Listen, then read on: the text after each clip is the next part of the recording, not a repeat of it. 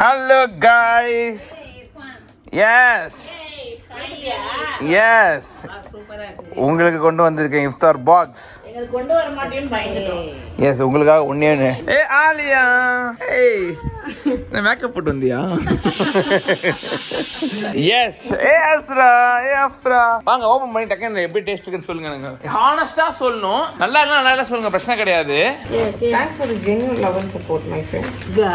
ஏய் முட்டை Impressed, impressed. Impress thank you ஆ அது வந்து தொ- மசாலா முட்டை. அது வந்து இதுல போட்டு சாப்பிடுறது கஞ்சில போட்டு. நல்லா இருக்கலாம் மச்சான் அது நிறைய பேர் பள்ளிவாசல நோம்பு திறக்க வராங்கல்ல? அப்போ காரா பூந்தி எடுத்துட்டு வருவாங்க.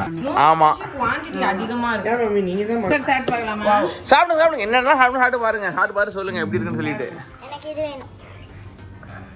செம்மையா இருக்கு. நீங்க இஃப்தார் பாக்ஸ் கொண்டு பண்ணிருக்கீங்க. மணி என்ன தெரியுமா? பலாப்பழம் ஆட் பண்ணிருக்கோம் ஆமா.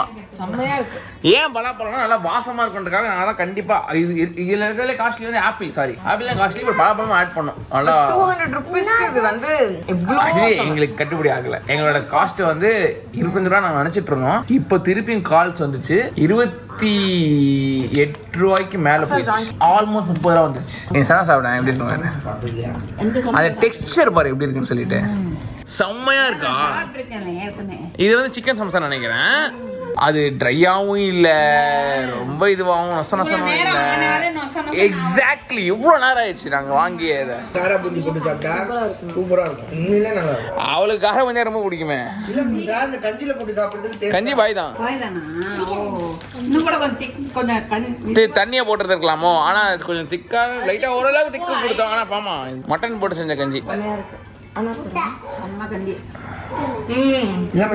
எல்லா இடத்துலயும் தண்ணியா தான் மச்சான் கிடைக்கும். இந்த மாதிரி கட்டியா சில இடத்துல தான் கிடைக்கும். எனக்கு இது ரொம்ப பிடிச்சிருந்துச்சு ஆக்சுவலி. முட்டை வசம் முடிச்சிருந்து இது இந்த- இதுதான் எனக்கு அந்த அளவுக்கு ஓடல. ஓகே அப்படின்னு சொன்னது. சமோசா வந்து ஹீரோ ஆயிடுச்சு. ஆமா. நல்லா சூப்பரா சூப்பரா ஃபைனா சரி இது இரநூறுவா கொடுத்தா வாங்கலாமா? நல்லா வாங்கலாமா. ஆ டீசென்ட் டீசெண்டா இருக்கும். வாங்கலாம். வாங்கலாம். Thank you guys very good very bye சொல்லிருங்க பாய்